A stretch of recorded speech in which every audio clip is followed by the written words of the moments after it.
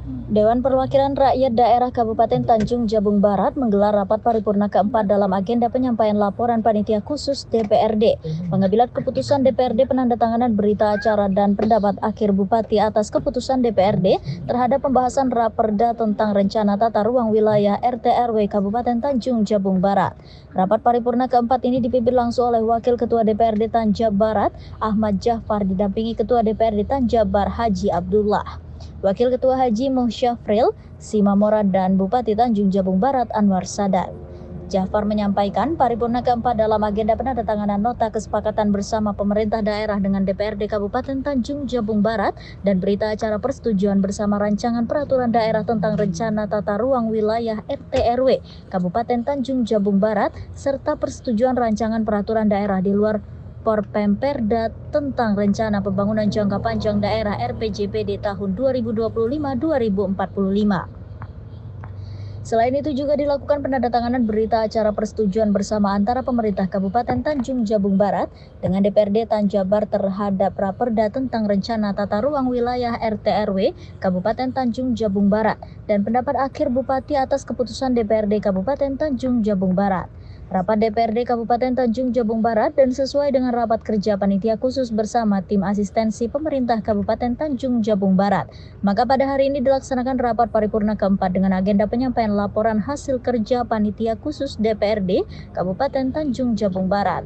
Ja'far juga mengatakan ini berdasarkan surat Bupati Tanjung Jabung Barat perihal penyampaian usulan Ranperda di luar Propemperda dan laporan hasil rapat Bapemperda DPRD Kabupaten Tanjung Jabung Barat tentang pembentukan produk hukum daerah sebagaimana telah diubah dengan peraturan Menteri Dalam Negeri nomor 120 tahun 2018 tentang perubahan atas peraturan Menteri Dalam Negeri nomor 80 tahun 2015 tentang pembentukan produk hukum daerah yang berbunyi bahwa dalam keadaan tertentu DPRD provinsi atau gubernur mutatis mutandis untuk kabupaten kota dapat mengajukan rancangan perda di luar pro pemperda karena alasan mengatasi keadaan tertentu lainnya yang memastikan adanya urgensi atas suatu rancangan perda yang dapat disetujui bersama oleh alat kelengkapan DPRD yang khusus menangani bidang pembentukan perda dan unit yang menangani bidang hukum pada pemerintahan.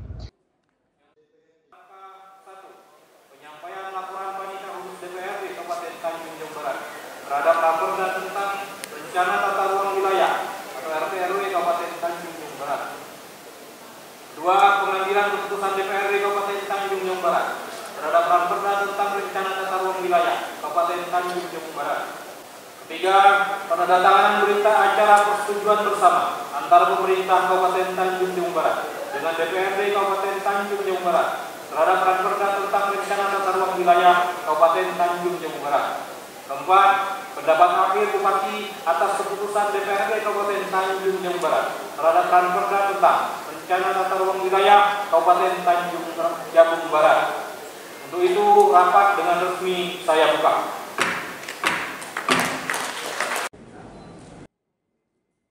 Sementara itu Bupati Tanja Barat Anwar Sada dalam sambutannya juga mengatakan, dengan disahkannya Ranperda menjadi Perda ini menunjukkan keberlanjutan yang lebih baik untuk Kabupaten Tanjung Jabung Barat. Ia berharap rancangan RT RW pada tahap selanjutnya dan akan dilakukan evaluasi oleh Gubernur Jambi sebelum ditetapkan oleh Kementerian Dalam Negeri. RT RW akan menjadi landasan Pemkap Tanjabar dalam melaksanakan aktivitas pembangunan di Tanjabar, terutama dalam penataan ruang. Laporan Pansus RT RW DPRD Kabupaten Tanjung Jabung Barat. Kemudian dilanjutkan dengan persetujuan penetapan putusan DPRD terhadap rancangan peraturan daerah menjadi peraturan daerah yang rancangan peraturan daerah Kabupaten Tanjung Barat tentang rencana tata ruang wilayah Kabupaten Tanjung Jabung Barat tahun 2024-2044 dengan disetujuinya rancangan peraturan daerah tersebut untuk disahkan menjadi peraturan daerah berarti pada hari ini kita telah mencatat satu peristiwa penting dalam mengemban amanah rakyat untuk lanjut menjalankan roda pemerintahan. Insya Allah peraturan daerah tersebut akan segera diundangkan dan diberlakukan. Anwar Sadat juga berterima kasih kepada pimpinan dan anggota DPRD dalam menyukseskan penyusunan Ranperda, RT RW Kabupaten Tanjabar dan peraturan daerah di luar Ranperda dan juga apresiasi ke DPRD Tanjabar yang telah bekerja keras selama ini. Semoga kerjasama ini bisa terus terjalin dan mewujudkan kesejahteraan untuk masyarakat Tanjabar Barat. Kontributor BTV Yusuf melaporkan dari Kabupaten Tanjung Jabung Barat.